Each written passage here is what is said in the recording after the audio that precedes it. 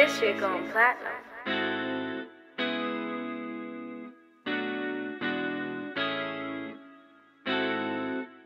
Them so on the run, bitch.